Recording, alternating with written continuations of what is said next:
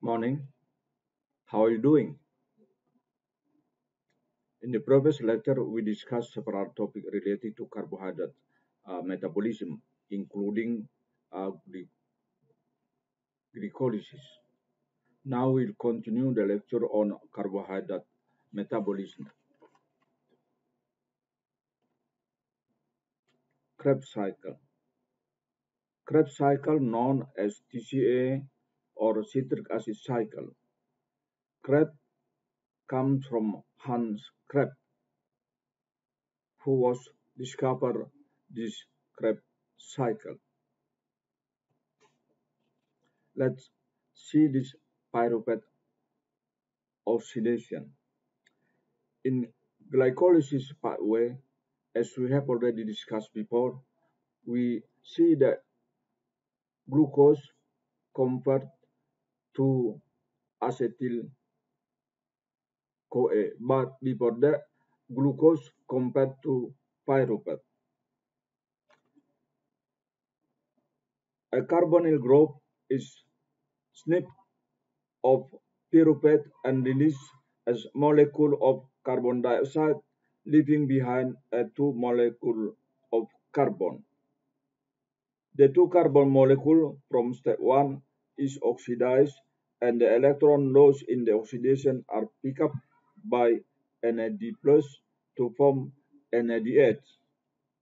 Then an acyl group is transferred to coenzyme A resulting in acetyl CoA. Now let's have a look at the Krebs cycle pathway. This cycle is a closed loop and include a major step. The cycle produces NADH, FADH2, ATP or GTP and release carbon dioxide. Let's see this a diagram.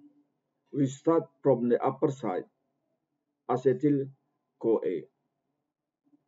The first step is condensation step, combining two carbon acetyl group with a four carbon oxaloacetate molecule to form a six carbon molecule of citrate. CoA is bound to a sulfonyl group and diffuse away to eventually combine with another acetyl group. This step is irreversible because it is highly exergonic. The rate of the reaction is controlled by a negative feedback and the amount of ATP available. If the ATP level increase, the rate of reaction uh, decrease. If ATP is in a short supply, then the rate will be increased. Let's move uh, to next step. Citrate lose one molecule of water and gain another as citrate is converted into its isomer isocitrate. In step 3, isocitrate is oxidized, producing a 5-carbon molecule, a ketoglutarate. Together with a molecule of carbon dioxide and the electron with reduced NAD plus to NADH. This step is also regulated by negative feedback from ATP and ADH and by a positive effect of ADP. Step 3 and 4 are both oxidation and decarboxylation steps, which release electron that reduce NAD plus to NADH and release carbonyl group to form carbon dioxide molecule. Alpha ketoglutarate is the product of step 4. CoA bind to succinyl group is the product of step 4. CoA bind to succinyl-CoA. The enzyme that catalyzes step 4 is regulated by feedback inhibition of ATP, succinyl-CoA, and NADH. And then the next step is a phosphate group is substitute for coenzyme A and a high energy bond is formed. The enzyme is used in substrate level phosphorylation to form either guanine triphosphate, or we call that one as a GTP or ATP. There are two forms of enzyme called isoenzyme for this step, depending on the type of animal tissue in which they are found. One form is found in tissue that use large amount of ATP, such as heart and skeletal muscle. This form produce ATP. The second form of the energy is found in tissue that have a high number of anabolic pathway, such as liver. This form produces a GTP. A GTP is energetically equivalent to ATP. However, its use is more restricted. In particular, protein synthesis primary use a GTP. Then step 6 is dehydration process to convert succinate into a fumarate. Two hydrogen atoms are transferred to FAD producing FADH2. The energy contained in the electron of this atom is insufficient to reduce NAD but inadequate to reduce FAD. Unlike NADH, this carrier remains attached to enzyme and transfer the electron to the electron transfer chain directly. This process is made possible by the localization of the enzyme catalyzing the step inside the inner membrane of the mitochondria. Then water is added to fumarate during step 7 and malate is produced. The last step in the citric acid cycle regenerate oxaloacetate by oxidizing uh, malate. Now let's move uh, to pentose phosphate pathway. Pentose phosphate pathway takes place in the cytosol of the cell. And this pathway is the alternative branch of glycolysis and no ATP is used or produced. And as the endpoint of this uh, pathway is ribose phosphate sugar to make a DNA and RNA, carbon dioxide, and NADPH. A phosphate a pathway divided into oxidative and non-oxidative phase, as you can see in this slide. Gluconeogenesis is a process to convert pyruvate into glucose to accommodate energy stored in the form of glycogen. Gluconeogenesis is not glycolysis occur in reverse because this mechanism and enzyme involved are not exactly the same.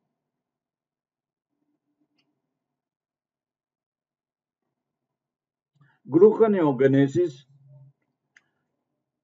is the process by which glycogen, the primary carbohydrate stored in the liver and muscle cell, is broken down into glucose.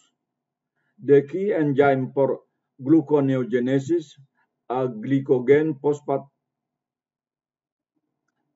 I'm sorry, glycogen phosphorylate glycogen phosphorylase will cleave the alpha 1 4 glycosidic bond of the terminal glucose residue at the non-reducing end of a glycogen.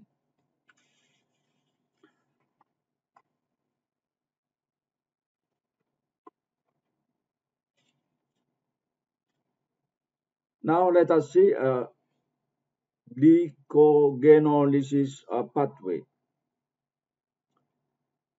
Glycogen degradation occurs into two different pathways depending on location.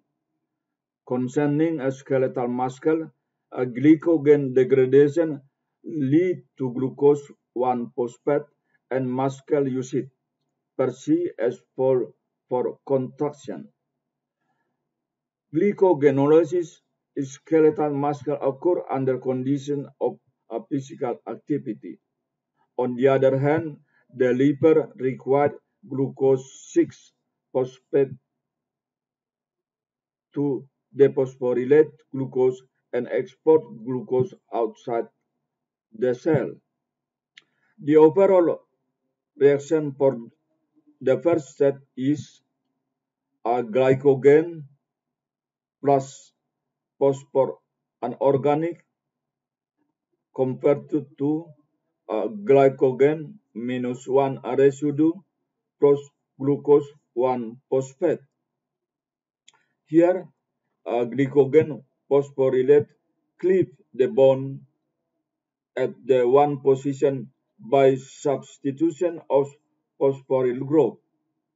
It breaks down glucose polymer at alpha 1 for linked until 4 linked glucose are left on the brand.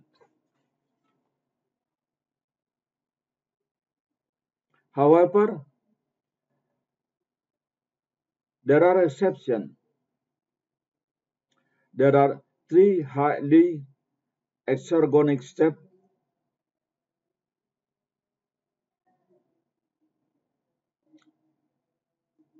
Step 1, 3 and 10. These are also regulatory steps which include the enzyme hexokinase, phosphofructokinase, and pyruvate kinase. Now let us move to hormonal regulation.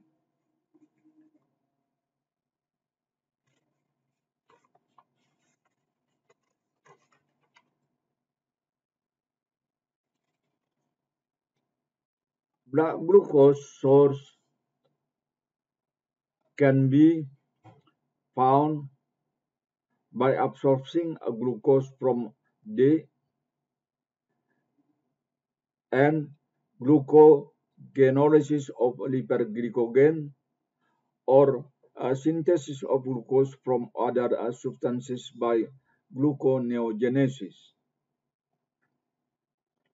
Then let us see the slide. In this slide, we can see the one interesting question. Why glucose concentration should be regulated? Normal blood glucose concentration is about 140 milligram per deciliter. This is a random and for fasting a person it's about a 70 to 99 milligram per deciliter. If slightly variation of this normal level lead to hyperglycemia or hypoglycemia. Thus, the level of glucose should be regulated using several chemical messenger. Let us see in this slide. In an upper side, we call that one as a hypoglycemia. Hypoglycemia, it means that the blood concentration is less than, than normal. Hyperglycemia is the condition of the person In that case, concentration of glucose in his or her blood is higher than normal.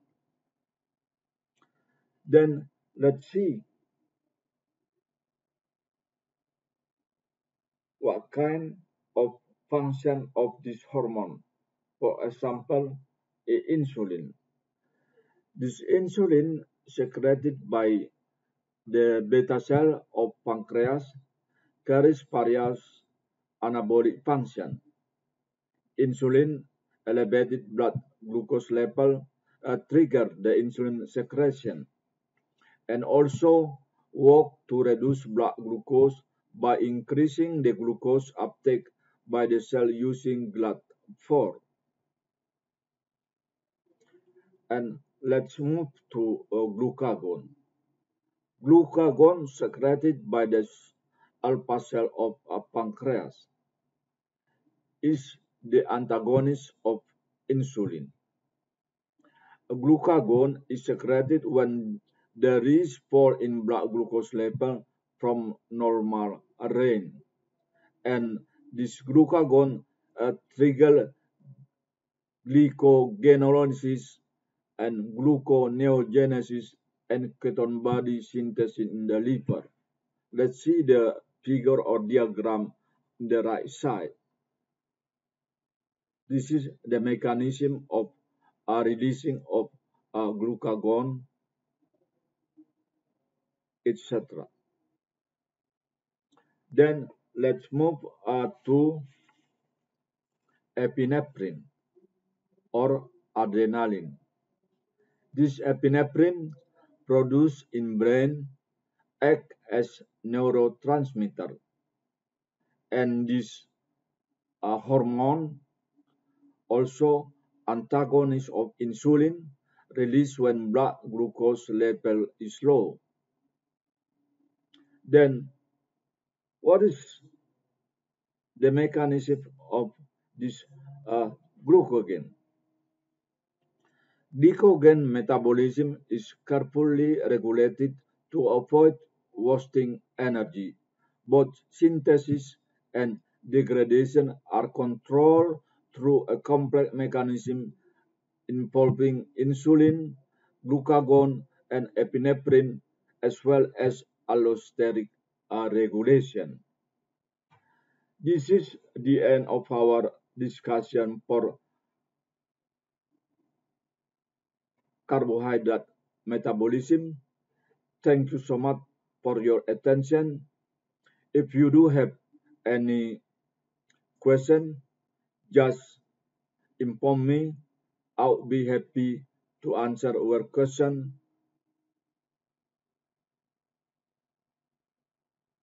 Just right after this class. Thank you so much.